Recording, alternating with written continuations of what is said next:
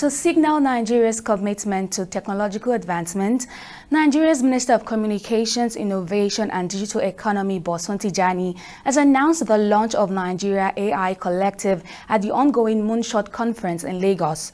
Organized by TechCabal, a leading African tech media platform in partnership with Sabi, Africa's foremost provider of infrastructure powering the distribution of goods and services, the tech conference brings together Africa's brightest minds in technology to collaborate, network, and celebrate innovations shaping the continent's future. Our correspondent Samilore Akinkule, who attended the conference, has more details in the next report. The Moonshot Conference kicked off on Wednesday, bringing together an exciting array of tech founders, business leaders, startups, and enterprise companies to showcase their groundbreaking solutions to the continent's challenges. A major highlight of the event was the announcement by Bosun Tijani, Nigeria's Minister of Communications, Innovation and Digital Economy, where he highlighted AI's potential to significantly improve Nigeria's productivity and called on the tech ecosystem to fully embrace this transformative technology. So when we talk about AI, you need to understand the entire ecosystem of artificial intelligence to truly say whether Nigeria should participate or not. Because when people talk about electricity, you're only thinking of the infrastructure element of it, where you're thinking of the data center, the GPUs, how do we power it? But the reality is that there's no artificial intelligence without digitizing our data. And some people need to actually do the work of digitizing data sets for continents like Africa, where we have a lot of dark data. And we can hone a part of the AI ecosystem. So all these young people that we're talking about in Nigeria, 70% of our people are under the age of 30. The average age in Nigeria is 17.5. The jobs they need will not be the jobs that we have today. The minister also stressed the need for Nigeria to embrace technology to boost trade, lamenting that the country is one of the least globally in terms of tech-driven trade. He expressed concerns that many startup funders are establishing their companies outside of Nigeria, which has affected the country's tech presence in global markets. Because Nigeria, for some funny reasons, is rated as one of the lowest countries when it comes to the ECI trade index for technology, which means we're not exporting technology. And that's a fat lie, as we all know. Uh, because we know that Nigeria has a significant number of technology companies operating in multiple countries. But of course, the reason why it's not being recognized is that most of you have registered these businesses in Delaware.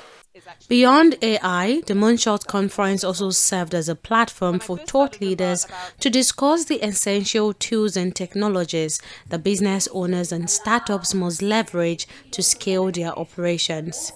So you have to make sure that you have the right messaging, uh, and that's what you what you say. Being able to say accurate, accurately what you do, some of the data points that you might use in order to um, in order to um, indicate what, um, your successes as well. Um, but make sure that you have, a, I guess, a messaging house. And once you have that, then I guess it has to be consistent across social. And it can be consistent about people who go to events. Uh, events are really another way of kind of increasing your brand. Speakers at the event highlighted the importance of embracing AI, even though Nigeria may be relatively late into entering the space. They underscored the potential of AI to solve complex societal challenges while advocating for its responsible use. As a nation, we are coming late to the party. We have nothing to lose by exploring AI. More so, there are no other alternative. This is the only part we have, and so we should give all our best to it and see how AI can help improve productivity and ultimately improve the qualities of life of our people. We've got ChatGPT now. You're trying to come up with a sentence. It will help you fine tune your your sentence properly. So AI is just something that has come to stay. It has come to make our lives better. So it's something that we should all learn about and find ways to um, incorporate it into our, our, daily life so that something that used to be very, very manual before becomes automated, becomes seamless, because becomes very easy to use. The conference doubled as a vibrant exhibition space where startups across Africa had the opportunity to present their innovations. Many startup funders expressed gratitude for the platform, noting that it provided a critical opportunity to gain visibility, network with investors, and test the feasibility of their solutions.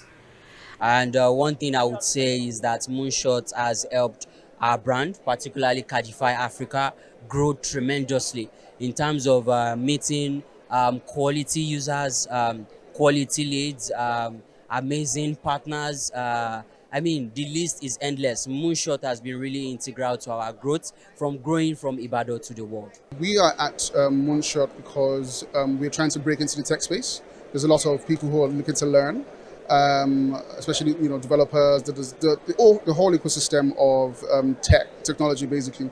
So Moonshot has helped us, you know, increase that reach to the tech industry and tech, tech ecosystem. As the event continues, the Moonshot Conference promises to drive more conversation on how Africa's tech sector can scale globally, with AI and digital tools playing a crucial role in transforming the continent's future. Tamilore Akinkwole at TV360, Lagos.